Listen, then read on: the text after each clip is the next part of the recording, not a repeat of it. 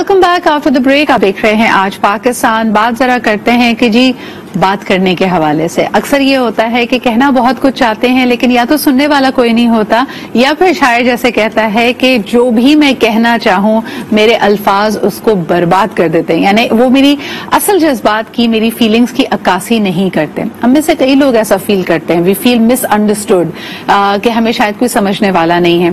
क्या ये वाकई कम्युनिकेशन ब्रेक डाउन होता है? आ, हमारा खुद यानी maybe we are feeling things too deeply हमने खुद अपने आप को आइसोलेट कर दिया है। या हमारा कहीं ना कहीं ये ख्याल कि लोग मुझे समझ नहीं पा रहे हैं, ये अपने आप एक बैरियर बन जाता है। आइए इसको एक्सप्लोर करते हैं। अगर आपने कभी एक्सपीरियंस किया हो लाइफ में तो हमें ज़रूर बताइएगा कि इवन आपके करीबी रिश्तेदार, आपके दोस्त, आपके अहबाब, जो आप समझते थे कि सबसे ज़्यादा आपके बेहतरीन खैर ख्वाह हैं, वो भी अगर आपको समझ ना पा रहे हो तो आप क्या करते हैं? हमारे पास एक ज़बरदस्त पैनल है जी। फ़र्स्ट एंड फॉरमोस्ट हमारे साथ मौजूद है मोटिवेशनल स्पीकर गजाला खान। बहुत बहुत शुक्रिया गजाला जी मौजूद होने के लिए। आप ही के साथ तशरीफ़ रखती हैं माहिर नफसियात हैं Maria Baris Nawaz. Thank you very much Maria for being here and last पर डेफिनेटली नॉट द लीस्ट हमारे साथ सफदर अली भी मौजूद हैं, जिनका काम ही कम्युनिकेशन से वाबस्ता है, यानी मीडिया पर्सनैलिटी है। Thank you Safdar for being है सबसे पहले अगर मारिया आपसे शुरुआत करूँ। ये जो परसेप्शन है कि आई एम मिसअंडरस्टूड या मेरी बात का वो मतलब नहीं था, ये अक्सर हम में से कभी ना कभी हमने ज़िंदगी में इसको ज़रूर एक्सपीरियंस किया होता है। ये कितना फ्रस्ट्रेटिंग होता है और उस पर क्या करना चाहिए इंसान को? Sidra it is extremely frustrating ठीक है? जब हम बात कर रहे होते हैं कि वी बिन मिसअंडरस्टूड ठीक है? तो टेक्निकली हमारे जितनी भी इंटरेक्शंस हैं, हमें ऐसा लगता है कि हम हमें फिर बात करने का फ़ायदा नहीं है ठीक है? बिकॉज़ हम लोग जो भी बात कर रहे हैं वो जो है वो मिसअंडरस्टैंडिंग की तरफ़ ही जाएगी। और उसकी तरफ़ से जो हम चाहते हैं कि वो एक व्यू पॉइंट हमारा उन तक पहुँचे वो कभी पहुँच ही नहीं पाएगा। सो so, बहुत दफ़ा ऐसा होता है कि हम लोग फिर कुछ भी नहीं कहते। वी जस्ट बिलीव कि फिर कुछ कहना बेकार है। सो विच इज़ वाई जितनी भी फीलिंग्स है वो हम सारी फिर इंटरनली फील कर रहे होते हैं। फिर उसकी वजह से एनजाइटी गिल्ट रिग्रेट और ये सारी जो इमोशंस हैं फिर हम वो सारा experience but is one type of person Ghazala ji दो तरह के लोग हैं। एक वो जो वाकई गिव अप कर जाते कहते कुछ कहना बेकार है खामोश हो जाओ जो कि उस प्रॉब्लम को मजीद बढ़ाती है। लेकिन दूसरी तरफ़ वो जो मामले को कन्फ्रंट करना चाहते हैं शायद गुस्से के एहसास में करना चाहते हैं तकलीफ़ में ही करना चाहते हैं वो भी मसले को शायद बढ़ा रहे होते हैं। लेकिन इन दोनों तरह के लोगों में फ़र्क क्या है आपके ख्याल में? Thank you so much Sidra for having me और uh, सबसे पहले तो मैं ये कहना चाहूँगी कि ये आजकल के दौर का सबसे बड़ा डायलेमा है कि बच्चे भी अपने माँ बाप की बात नहीं समझते और माँ बाप भी बच्चों की बात नहीं समझ पाते। तो ये जो प्रॉब्लम है ये तो फिर आपके बचपन से स्टार्ट हो रहा है। कि आप कम्युनिकेशन गैप तो बचपन से आ रहा है? क्योंकि घर में जो हमारी कम्युनिकेशन होती है सबसे ज़्यादा हमारी स्ट्रेंथ भी वहीं बिल्टअप होती है और वीकनेस भी वहीं से स्टार्ट होती है। बहुत सारी चीज़ें जैसे हम वर्क प्लेस पे कम्युनिकेट करते हैं वहाँ पे प्रोफेशनल या टेक्निकल टेक्निकल लैंग्वेज भी होती है, जिसकी वजह से आपको बहुत सारी चीज़ों को ज़्यादा एलेबरेट करने की ज़रूरत होती है स्पेशली आपके सबॉर्डिनेट के साथ या आपके सीनियर्स के साथ, क्योंकि वो हमसे ज़्यादा जानते हैं। लेकिन फिर वही बात आ जाती है कि वहाँ आपका एक सेल्फ रिस्पेक्ट है आप आप उस चीज़ में चले जाते हैं ईगो में चले जाते हैं कि अगर आपको थोड़ा सा कुछ ज़्यादा समझाने की कोशिश करता है तो आप समझते हैं कि नहीं मुझे सब पता है जब ये चीज़ आती है ना कि मुझे सब पता है तो हम्म। आप बहुत सारी चीज़ों में पीछे रह जाते हैं क्योंकि लोग हम्म। आपको सिखाना छोड़ देते हैं और फिर वो आपसे बात भी ज़्यादा नहीं करते लेकिन बात वो ये कि आपको बैलेंस करना आना चाहिए। बहुत सारी जगहों पर खामोशी ही ज़रूरी होती है क्योंकि ऐसे भी लोग होते हैं जो मैनिपुलेट करते हैं। आप कहना कुछ चाह रहे होते हैं लेकिन उस चीज़ को मैनिपुलेट करके उल्टा आप खुद विक्टम बन जाते हैं और आपको ब्लेम करना शुरू कर देते अच्छा इसमें आपने जो बड़ी ज़बरदस्त बात की है मिसअंडरस्टैंडिंग के हवाले से कि खामोशी क्यों बेहतर है।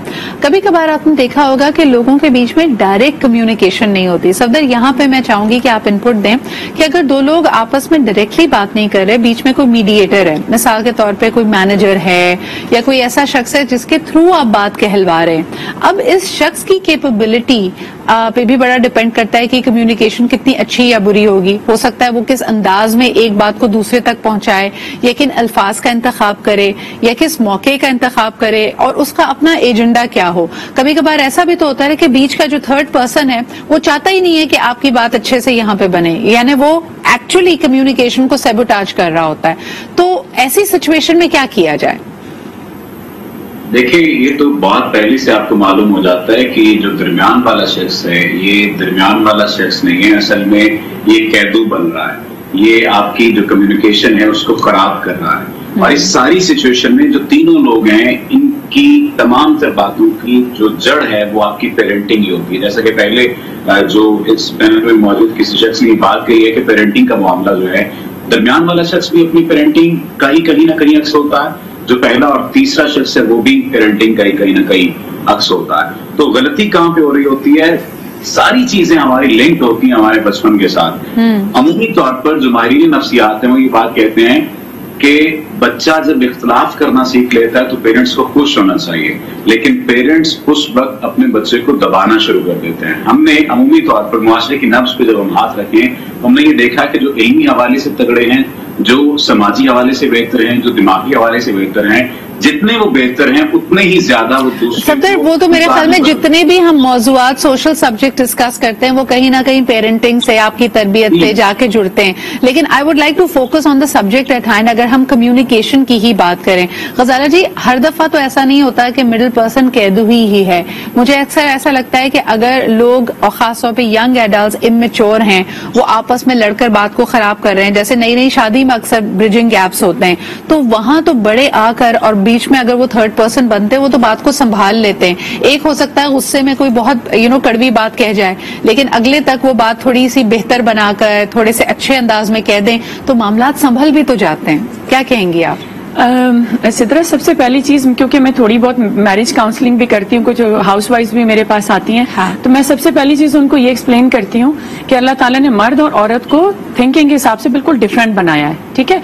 मर्द जो है वो इमोशनल नहीं है वो इमोशनल बींग नहीं है वो थोड़ा दिमाग से ज़्यादा काम लेता है औरतें जो होती हैं वो थोड़ी इमोशनल होती हैं वो जज्बाती तौर पर ज़्यादा अपनी चीज़ों को एक्सप्लेन करना चाहती हैं इसीलिए वो शायद उनका रोना भी उनको नेचुरली मिला है कि वो एक्सप्लेन करती हैं कि वी आर इन पेन लेकिन बात सारी फिर वहीं आ जाती है कि औरत ये सोचती है कि जिस तरह मैं अपने शोहर की केयर करती हूँ, प्यार करती हूँ एक्सप्लेन करती हूँ, चीज़ें करती हूँ, वो खुद करे।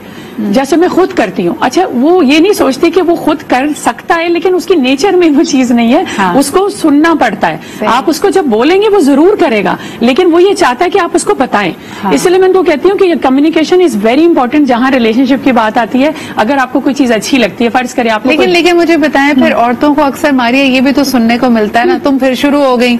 या फिर तुम बात तो करती नहीं हो ज़्यादा बात करने से पहले तो तुम्हारे आँसू टपकने लगते हैं। I can't take this crying ये हर वक्त रोना धोना मुझे पसंद नहीं है। इन्हें मर्दों की तरफ़ से ये रिस्पॉन्स भी आता है। इस पर आप क्या कहेंगी Maria? I like to add this के uh, एक बुक है men from Mars and women are from Venus absolutely तो उसमें it was a beautifully quoted page जिसमें लिखा गया था कि जो जो जो वेमेन है वो आती है वो कहती है कि मुझे ये ये हो गया वो हो गया you know she is ranting and जो हमारे मेल हैं वो कहते हैं कि हाँ तो तुम ये कर लो। मतलब फ़ौरन से उन्होंने सोल्यूशन दे दिया। निकाल yes. दिया। जबकि she does not want the solution she. Just wants a ranting space सही शी जस्ट वांट्स कि वो अपने दिल का हाल वहाँ पे बोल दे और बात खत्म कोई उसको सुन ले। ठीक है कि अब वहाँ सोल्यूशन आ गया। अब जो हमारे मेल हैं वो भी परेशान कि सोल्यूशन दे दिया। फिर भी she is still like upset from me तो उस लिहाज दैट्स तो आप कह रहे हो कि कई दफ़ा जब खातन आके वेंट आउट करते हैं या रेंट करती हैं you know they they going on and on about it मर्द जब उसको सुन रहा होता है तो उसको ऐसा लगता है कि ये खातून कंप्लेन कर रही है ये हर चीज़ का इल्ज़ाम दे रही है या बता रही है कि क्या क्या उसकी लाइफ में चीज़ें जो नाखुश हैं। And he is immediately trying to look for a solution लेकिन सोल्यूशन जब वो नहीं भी ढूंढ पाता वो इन सारी चीज़ों को इल्ज़ाम के तौर पर ले रहा है या बुरा फील कराने की मद में लेके जा रहा है। This is very interesting will talk a little more about that लेकिन एक कॉलर हमारे साथ हैं। हेलो अस्सलाम वालेकुम। वालेकुम अस्सलाम।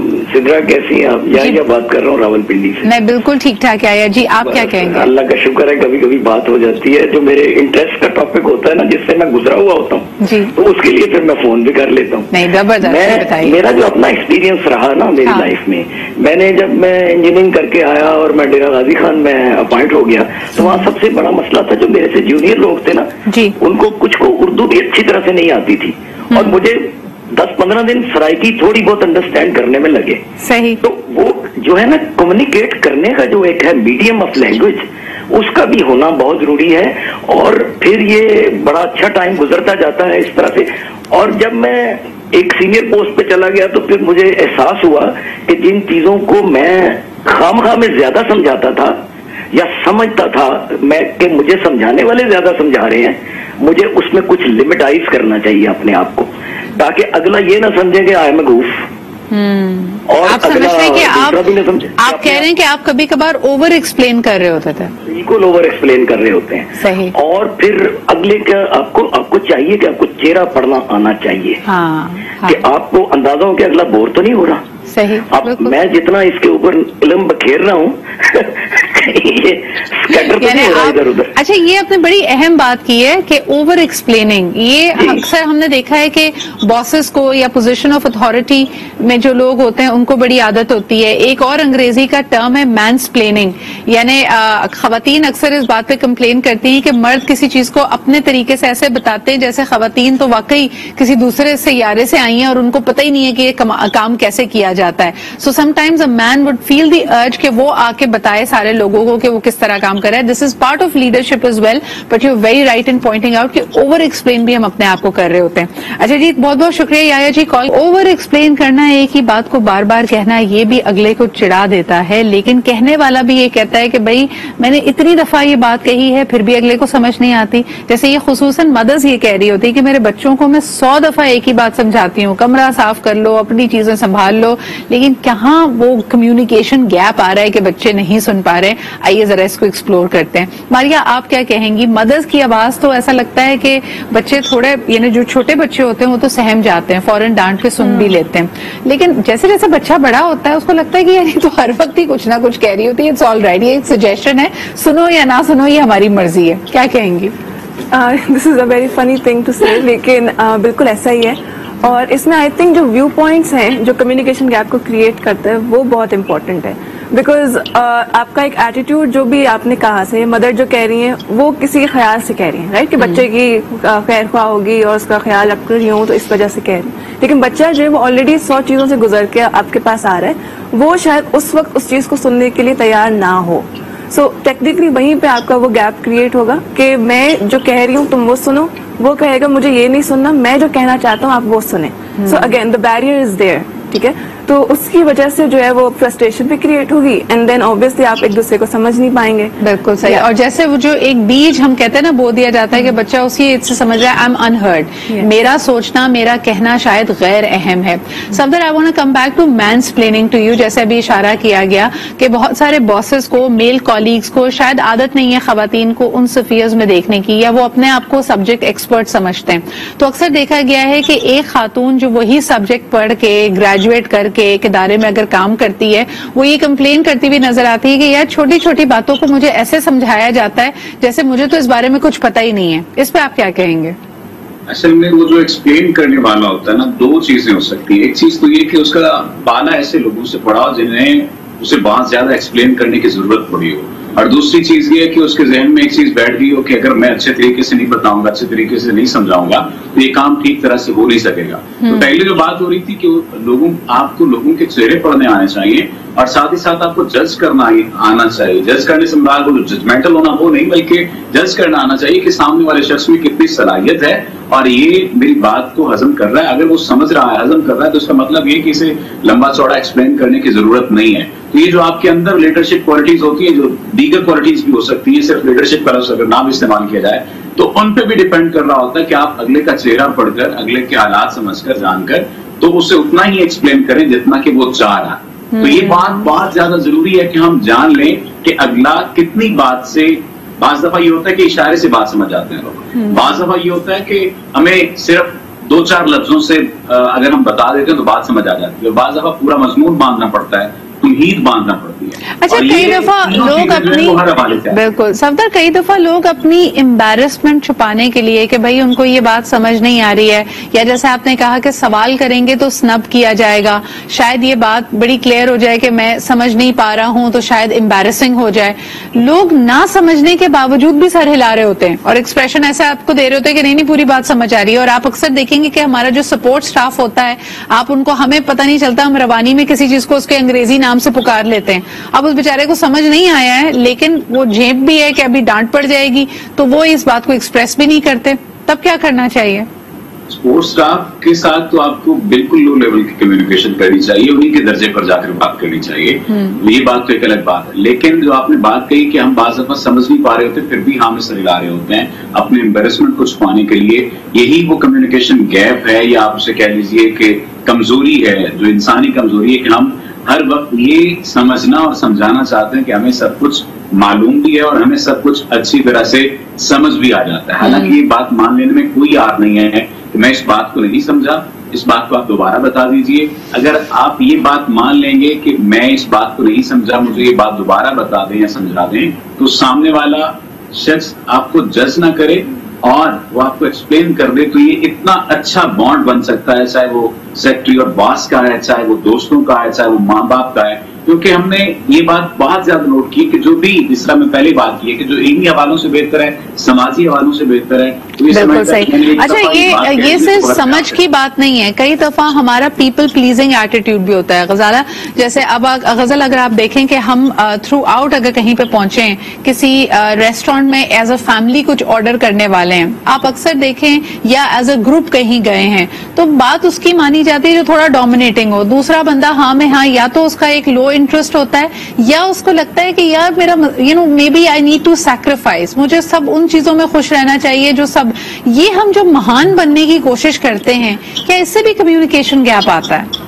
Uh, सिद्रा मैं ये कहूँगी कि it's most of the time you know ten percent is the conflict ninety percent is the tone ठीक है अगर आप प्यार से एक, एक चीज़ किसी को भी एक्सप्लेन कर लें चाहे वो जितना भी डोमिनेंट हो आप उसको बोलें कि ठीक है आज हम थोड़ा सा ये ट्राई करके देख सकते हैं। Hmm. देखें क्या होता है। Maybe this is going to taste better than that आप यकीन करें टोन एक ऐसी चीज़ है कि आप बड़ी से बड़ी बात किसी से भी मनवा सकते हैं। मोस्टली कई दफ़ा ऐसा होता है बहुत अच्छी बात भी लोग करना चाह रहे होते हैं लेकिन उनकी टोन ऐसी होती है कि वो अच्छी बात भी लोगों को बुरी लग जाती है। Hmm. तो यहाँ पर हमें सीखने की ज़रूरत ये होती है कि आप अपने लहजे में सॉफ्टनेस लाएँ। और एक बात हमेशा याद रखें, जैसे आपने बीज बोने की बात की तो never underestimate the power of sowing the seed कि आप अगर एक बात भी थोड़ी थोड़ी देर बाद या कभी किस, किसी मौके पर जब वो चीज़ आपको लगता है कि वो सुटेबल टाइम है आप बोलते रहते हैं ना तो यकीन करें वो कहीं ना कहीं इंसान के जहन में बैठ जाती है। अच्छा हम में से कई लोग फॉलो करते हैं मैं बड़ा फॉलो करती हूँ जी इंस्टाग्राम पे द होलिस्टिक साइकोलॉजिस्ट को उनकी बड़ी ज़बरदस्त फॉलोइंग है बुक्स भी उन्होंने लिखी हैं। मारिया उन्होंने कल you know she said something exactly what you know Ghazala was referring to उन्होंने कहा कि अगर आप किसी ऐसे शख्स से मिलें जो बड़ा कड़वा बोलता है अब्रेसिव है बड़ी ब्लंट बात करता है। तो ये इंडिकेशन होती है कि शायद उसने अपना बचपन ऐसी सर्कमस्टांसेस में गुजारा है जहाँ उसको बात बात पे अपने आप को डिफेंड करने की ज़रूरत पड़ी है। जिसकी वजह से वो अब्रेसिवनेस वो ब्लंटनेस उसके मिजाज में आ गई है। क्या ये बात दुरुस्त है? Yes I totally agree with this fact because अगर हम बुलीज की बात करें ठीक है तो अगर उनकी भी हम हिस्ट्री पे जाएँ या बैकग्राउंड पे जाएँ तो कहीं ना कहीं वो भी बचपन में बुलीड हुए हैं। सो विच इज़ वो फिर उनका एक कोपिंग मैकेनिज्म हो जाता है कि एक अरसे तक हमारे साथ ये जितने भी मसाइल हुए हैं सो कहीं ना कहीं या तो वो एक रिवेंज वाली फीलिंग उनके अंदर डेवलप होती है कि हम ये चीज़ दूसरों के साथ करें वॉट वी हैव फेल्ट तो ये भी एक पार्ट हो सकता है. सेकेंड पार्ट ये हो सकता है कि वो उस उस कोपिंग में अपने आप को डिफेंड करते करते उनकी पर्सनालिटी ही चेंज हो गई। सो टेक्निकली वो सर्कमस्टांसेस उनके असल नहीं थे बट मतलब या उनकी पर्सनालिटी वैसी नहीं थी बट सर्कमस्टांसेस जो थे उन्होंने वैसा बना दिया। बिल्कुल सही। Yeah. अच्छा गजाला इसमें खातन अक्सर बड़ी एम्पथेटिक होती हैं। आप देखें कि अगर इस तरह की बाउंड्रीज क्रॉस हो रही हैं कोई आपको कड़वा बोल रहा है कोई आपको ब्लंटली बात कर रहा है कोई आपको साइलेंट ट्रीटमेंट दे रहा है कुछ अरसा खातन अपनी बाउंड्रीज को अपहोल्ड करती हैं कि भाई ये इस तरह मुझसे बात नहीं की जा सकती। लेकिन सूनर और लेटर अगर आप एक नरम गोशा रखते हैं उस शख्स के लिए, चाहे वो आप यू नो कोई रोमांटिक पार्टनर हो, आपका अपनी औलाद हो या अपने वालदेन हो, अपने वाले से मिसअंडरस्टैंडिंग्स क्यों होती हैं? और क्या मिसअंडरस्टैंडिंग्स को हल करने के लिए वक्त का सहारा लेना चाहिए? कुछ लोग कहते हैं ना कि जी, ये सब्जेक्ट ये इशू ये लड़ाई इतनी रेड हॉट है कि थोड़ा सा भी डिस्टेंस क्रिएट करो। सबके पहले थोड़े जो जज्बाती हुए में लोग, सबको पहले उनका गुस्से का उबाल को कम होने दो। या आप समझते हैं कि मिसअंडरस्टैंडिंग को जितना जल्दी हो सके सॉल्व करना चाहिए। सदा, सबसे पहले आप क्या कहेंगे? सिचुएशन पे डिपेंड करता है, क्योंकि अगर मामला बहुत ज़्यादा गर्म है और दोनों तरफ़ की गर्मा गर्मी है तो फिर थोड़ा सा वेट कर लेना चाहिए।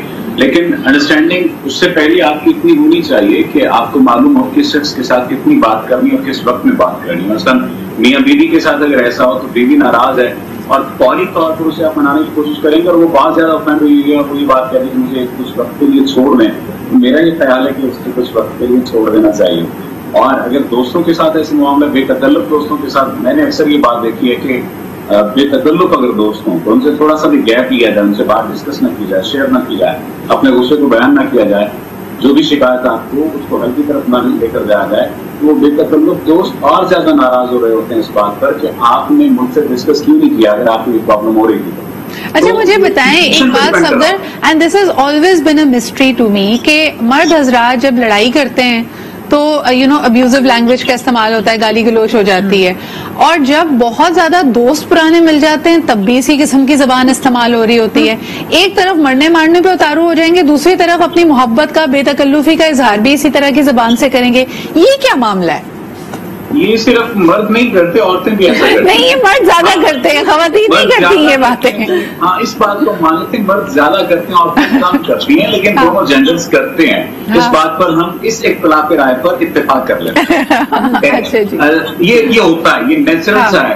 क्योंकि हमने बुनियादी तौर पर मोहब्बत का इजहार करना नहीं सीखा ना। हम मोहब्बत के इजहार में बहुत ज़्यादा गूँगे हैं। हम्म। हाँ। तो हमें भी शायद वो अल्फाज नहीं मिल पा रहे होते जिनके ज़रिए से हमने अपनी बेतकल्लुफी का इजहार करना होता है। और हमने गाली को एक पैमाना बना लिया कि अगर मैं गाली देख के इससे मोहब्बत का इजहार कर सकता हूँ तो पता चल जाएगा कि यस ये मेरा बहुत अच्छा दोस्त है जो गाली को बर्दाश्त कर लेता है। इसको तो मैं ये भी कह सकता हूँ।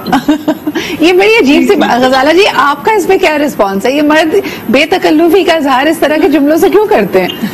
वही माइंड सेट है ना अब उन्होंने बचपन से जो देखा हुआ है उनको लगता है कि ये एक एक्सप्रेसिव होना शायद इसी को कहते हैं कि आप अपने जज्बात को जितना खुल के बयान करें। और उसमें जितनी वेकेबलरी आपके पास आप सारी यूज़ कर लें। जितनी vocabulary है। है वो सारी यूज़ करें। लेकिन अगर तो यहाँ पर थोड़ा सा मैं ये मैंने बहुत देखा है कि हमारी सोसाइटी में एक चीज़ लैक करती है वो है अप्रिसिएशन अप्रिसिएशन के मामले में बहुत कंजूस है।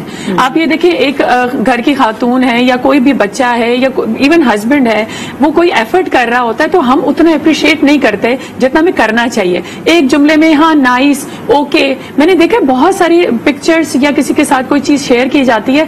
They they are hardly any words या तो ओके का वर्ड आ जाता है ये एक स्माइली या emoji आ जाती है। अच्छा अब मेरे पास वो वक्त कम है एक मुझे बड़ा इंटरेस्टिंग सा सवाल आप लोगों से करना है। शायद पहले लोगों के पास ये तरीके ये टूल्स मौजूद नहीं थे लेकिन अब क्योंकि लेट नाइट पैकेजेस भी हैं सबको थोड़ी तन्हाई भी मिल जाती है, अपने अपने पर्सनल सेल भी हैं।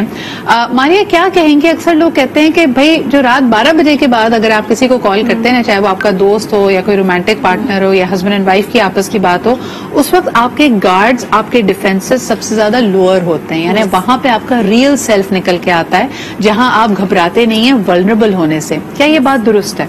हाँ ये बिल्कुल ट्रू है बिकॉज़ पूरे दिन में जितनी एनर्जी होती है जब चैनलाइज कर रहे होते हैं डिफरेंट कामों में डिफरेंट एक्टिविटीज़ में हाँ। तो रात का टाइम ऐसा होता है कि it's very serene it's very peaceful and you really want to spend the time with yourself and your beloved ठीक है तो वहाँ पे फिर आप चाहते हैं कि यार बस बहुत हो गया बहुत मास्किंग हो गई बहुत फेकिंग हो गई जितना हाँ. करना था सब हो गया अब मैं भी किसी को सुनना चाहती हूँ मेरे मुझे मैं भी चाहती हूँ मुझे भी कोई सुने ठीक है या इवन वो पेरेंट्स के साथ भी हो सकता है कि आप रात में जैसे आपके पेरेंट्स बैठे हैं अपने रूम में आप चले गए उनके पास और आप उनके साथ फिर टाइम स्पेंड कर रहे हैं उनको फिर मतलब यू नो सोते वक्त उनको गुड नाइट और वो सब फिर दिन की but but if I go back to the earlier part जो Yeah. आप अगर किसी से आपकी अंडरस्टैंडिंग है कोई रोमांटिक इंटरेस्ट है Hmm. गजाला जी ये मिक्स सिग्नल्स भी होते हैं यानी ये कंफ्यूजन भी क्रिएट कर सकते हैं कि पूरा दिन तो आप मुझे इग्नोर करते हैं रिलेशनशिप Hmm. अभी अनडिफाइंड है लेकिन रात के वक्त एक दूसरे की याद आ जाती है और बड़ी यू नो खाबो खरगोश की बातें हो रही हैं, बड़ी आप यू नो सिंसेयर बातें कर रहे हैं डीप बातें कर रहे हैं। ये ये क्या चक्कर है?